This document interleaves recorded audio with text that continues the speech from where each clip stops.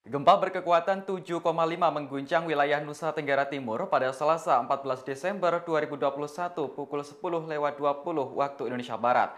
BMKG pun mengeluarkan peringatan potensi terjadinya tsunami di sejumlah wilayah.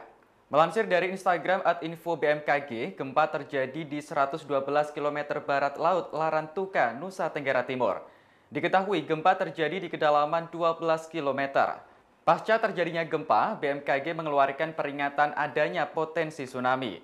BMKG pun mengimbau masyarakat mengikuti arahan peringatan dini tsunami dari BPBD dan BNPB.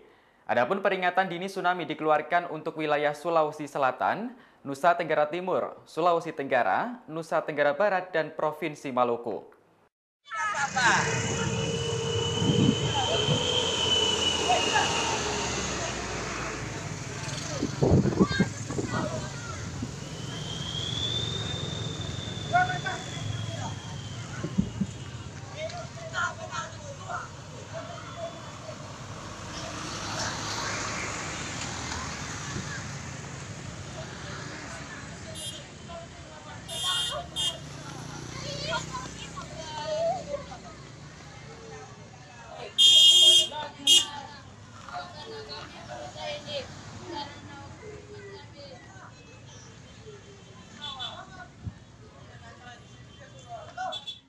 Rumah sakit.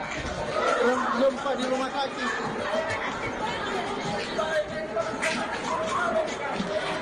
Gempa di rumah sakit. Bangunan goyang. Gempa di rumah sakit. Bangunan goyang. Nggak bisa lari. Iya iya iya